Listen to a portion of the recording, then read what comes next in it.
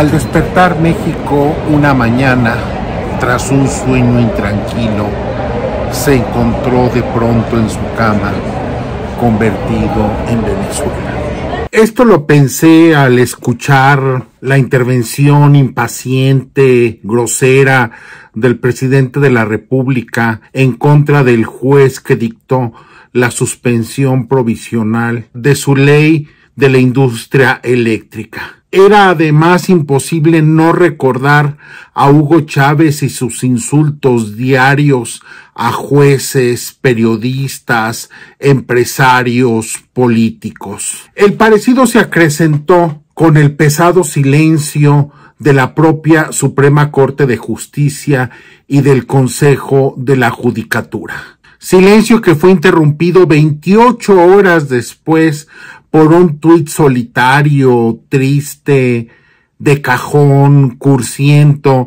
del propio presidente de la Suprema Corte de, y que seguramente no habría emitido de no haberse dado ya el pronunciamiento de una gran cantidad de organismos gremiales en apoyo al juez y contradicción a las palabras del presidente de la República. Si no queremos terminar permanentemente como Venezuela, la oportunidad es el próximo 6 de junio, votando en contra de una mayoría del presidente de la República en la Cámara de Diputados. Si por el contrario, y como muchos señalan, los mexicanos tenemos tan poco respeto por la ley, bueno, yo creo que ya no hay mucho que hacer y preparémonos para lo peor. Muy buenos días.